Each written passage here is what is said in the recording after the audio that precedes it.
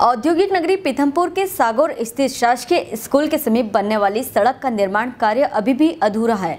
वहीं बारिश का मौसम शुरू हो चुका है, जिसके चलते सड़क पर काफ़ी कीचड़ हो गया है। यहाँ से आवागमन करने वाले राहगीरों को समस्याओं का सामना तो करना पड़ता ही है, लेकिन वहीं सड़क के पास स्थित शासकीय कन्या विद्यालय की छात्राओं को भी विद्यालय आने जाने में काफ़ी कठिनाइयों का सामना करके विद्यालय तक पहुँचना पड़ता है। बारिश के बाद सड़क पर कीचड़ होने के चलते कई बार छात्राएँ यहाँ फिसल कर गिर जाती है।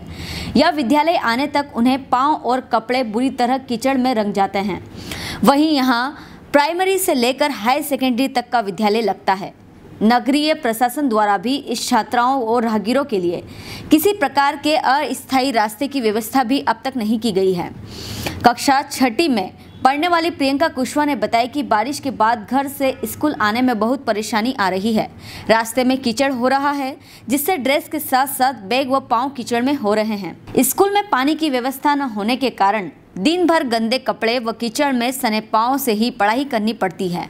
पीथमपुर से संजय संगरा की रिपोर्ट। जी बताइए जो रोड का काम चल रहा है काफ़ी कीचड़ हो रहा है रोड पर क्या परेशानी आती है आपको स्कूल आने में? हमको स्कूल जाने में आ, आ, कीचड़ में परेशानी होती है और ड्रेस गंदी हो जाती है और छोटे छोटे बच्चे गिर जाते हैं और कीचड़ में गाड़ी ऑन भी नहीं चलती है और स्कूल आने में परेशानी होती है।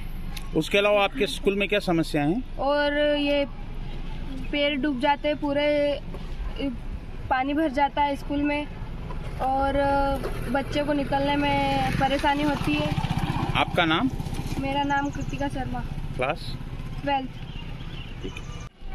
बताइए क्या परेशानी आती है आपको स्कूल आने जाने में कीचड़ हो रखा है रोड? कीचड़ पैर में लगता है और पानी भर जाता है और बच्चे छोटे छोटे गिर जाते हैं और पीने का पानी वो क्या गाड़ी स्कूल में पीने का पानी नहीं है। आपका नाम? मेरा नाम प्रियंका कुशवाहा।